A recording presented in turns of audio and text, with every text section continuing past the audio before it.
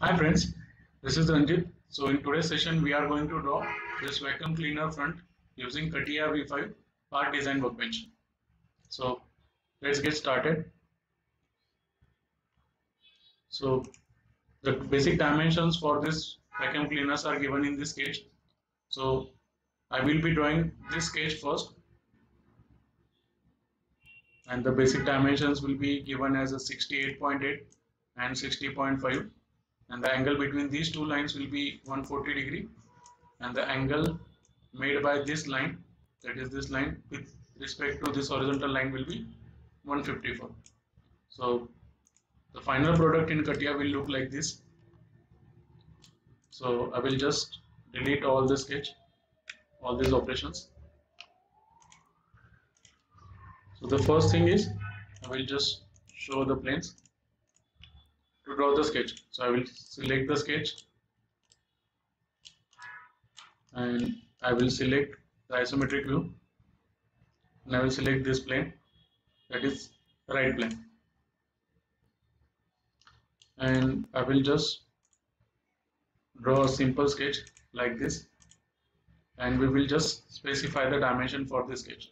So this angle is 140 this length they have given it as a 68.8 this length they have given it as a 60.6 angle made by this line with respect to horizontal they have given it as a 154 so our sketch is gets fully defined.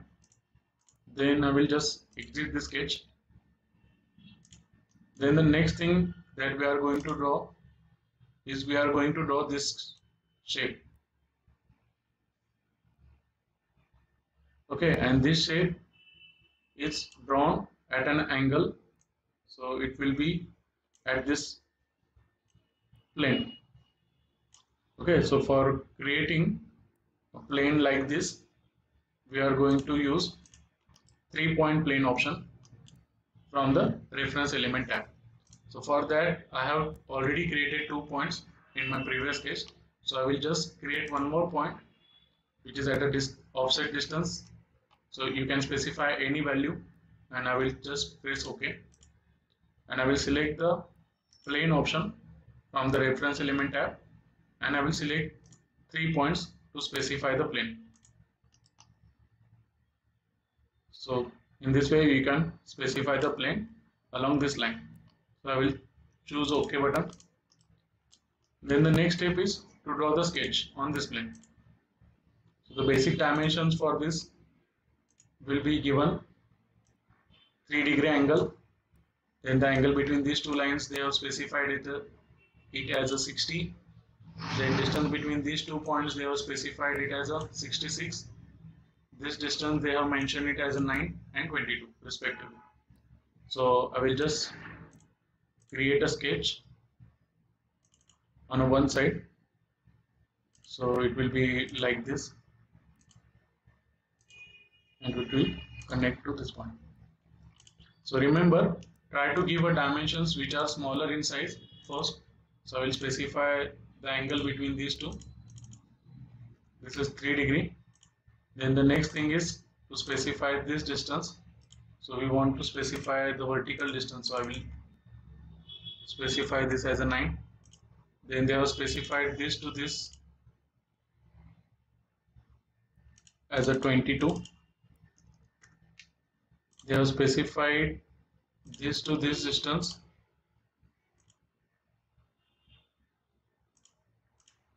I think as a 66 so it will be 33 then this line is inclined one and the angle made by this line is 60 degrees. So I will just go and specify the dimension between these two. So for specifying the angle I will again use constraint tab and I will specify the angle between these two as a 30 then this to this distance they have mentioned as a 132 by 2 so they have given this distance as a 132 total distance. So I will be drawing only half section. So it will be 132 divided by 2 and the only remaining portion will be this line and this point and I will just make it as a coincident then the next step is to mirror this sketch. So I will just mirror this sketch about this plane or about this line. And we are going to close the sketch. So I will just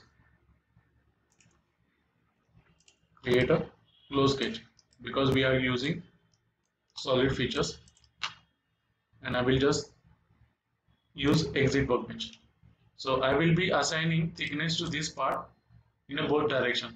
So for that there is an option called as mirror extend and the total width they have given it as a 28 so I will just specify this as a 14 so it will create 14 on either sides. And okay. So this is our first step. Then in second step I will be drawing one circle at this location and I will create an extrusion. And after that so they have specified the diameter of this circle as a 32 and that circle has been tapered by 2 degree. Okay so I will just go and create a plane at this location. And then I will create a sketch on that plane. So the dimension for the circle they have given it as a 32 as a diameter. So I will specify diameter as a 32 and I will make this center point coincident to each other. And I will just exit the sketch. So you can use drafted filleted pad for creating a tapered section or else you can separately use a draft command. So I will be using a draft command for this.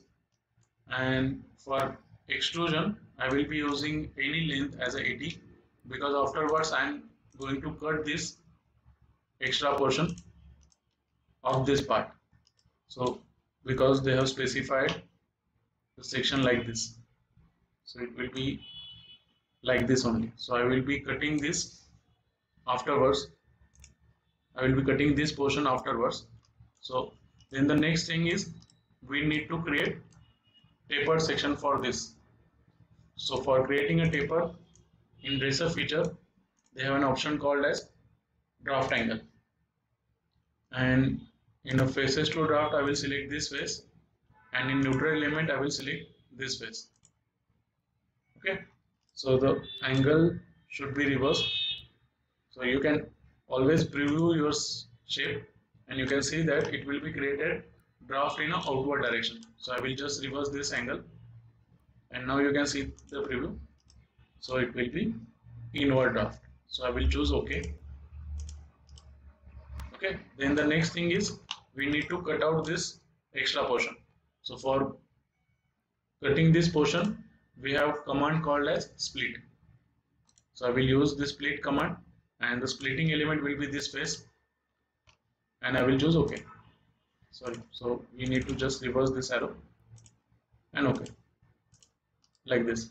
Or else you can create a plane and you can split your section by using plane also. Then the next thing is we need to create a fillets. So I will just hide the sketches. I will hide the all planes because that are not necessary. So I will just simplify the representation. So I will just hide out this point also. Then the next thing is we need to create a fillets so they have specified the fillet radius at this will be radius 12 at three location. So the first location is this one second at this location and third will be at this location.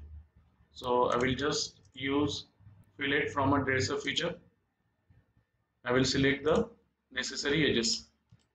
So for these edges these three edges they have specified the radius as a 15 okay? Then the next thing is they have specified total 15 fillets of radius 3 remember always fillet vertical edges first because after filleting these vertical edges you will get a continuous tangency edge for creating a top end fillet so I will just go and select the fillet command. I will fillet this edge first then this edge. So all these fillets will be created at once. So I will be creating this vertical fillets first and the radius will be 3 then we will be creating a fillets at this location at this location and at this location. Okay? And the fillet radius will be again 3 so in this way you can create a fillets. And afterwards we need to specify shell. So the thickness will be 2 mm. So for that we will be again going into dress-up feature and selecting the shell command. We will be specifying inside thickness as a 2 mm because they have specified the thickness in inside. And for faces to remove I will select this face and this face. And I will choose OK